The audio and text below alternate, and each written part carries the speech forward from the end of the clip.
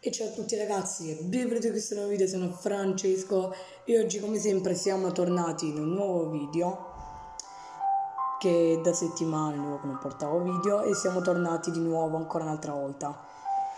Allora, oggi andremo a leggere letture SCP insieme, documenti SCP vabbè insieme. L'SCP che andremo a leggere oggi è uno dei molti, dei più famosi, credo, molto famosi ed è l'SCP-173. Allora, volevo portare SCP-173 perché l'avevo spiegato pure un video del 162 quando avevo portato la palla di spine SCP-162 l'avevo detto che forse portavo il prossimo SCP-173 ed eccoci qua l'ho portato. Quindi questo qua è il video dove parleremo leggeremo il documento insieme di SCP-163 ma senza perdere tempo Torniamo a noi, andiamo a leggere il documento. Elemento SCP-173 Classe dell'oggetto Euclid Procedura speciale di contenimento L'elemento SCP-173 deve essere contenuto in un container perennemente chiuso. Quando il personale deve entrare nel container di SCP-173 deve farlo in un numero non inferiore ai tre elementi e la porta è immediatamente rinchiusa alle loro spalle. Due persone devono mantenere costantemente un contatto visivo diretto con SCP-173 finché tutto il personale non avrà evacuato e risigillato il container. Descrizione. Spostato al sito 19 nel 1993, la sua origine è ancora sconosciuta. Realizzato in calcestruzzo e cemento armato con tracce di vernice spray marca Krylon, SCP-173 è animato ed estremamente ostile SCP-173 non può muoversi mentre è sotto contatto visivo diretto. Il contatto visivo di, eh, con SCP-173 non deve essere interrotto in nessun momento. Al personale selezionato per entrare nel container è ordinato avvertirsi a vicenda prima di battere le palpebre. È stato rilevato come il soggetto attacchi rompendo le ossa in corrispondenza della base del cranio, nel collo o tramite strangolamento.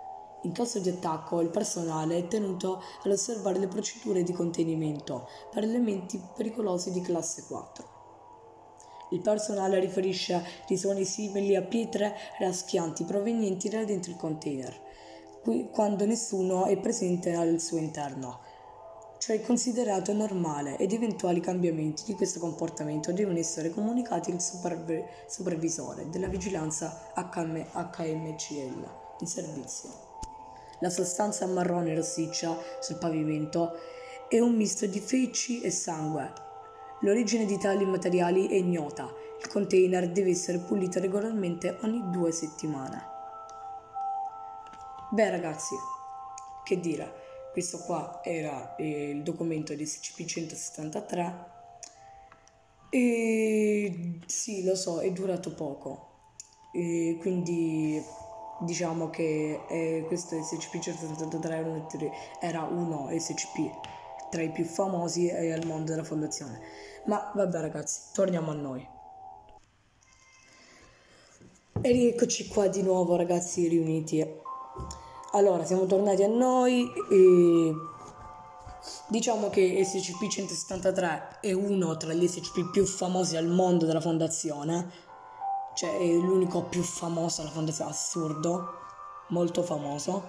E diciamo che però il fascicolo era molto corto, cioè durava poco. Quindi diciamo che bastate, sappiamo già come SCP-163, basta mantenere il contatto visivo ma non smettere di guardarlo. Vabbè ragazzi, pure questo SCP l'abbiamo letto insieme a noi e che dire, spero che questo video sia piaciuto lasciate un like, iscrivetevi al mio canale e attivando la campanellina. E dire ragazzi, e ci vediamo a un prossimo video. Ciao ragazzi!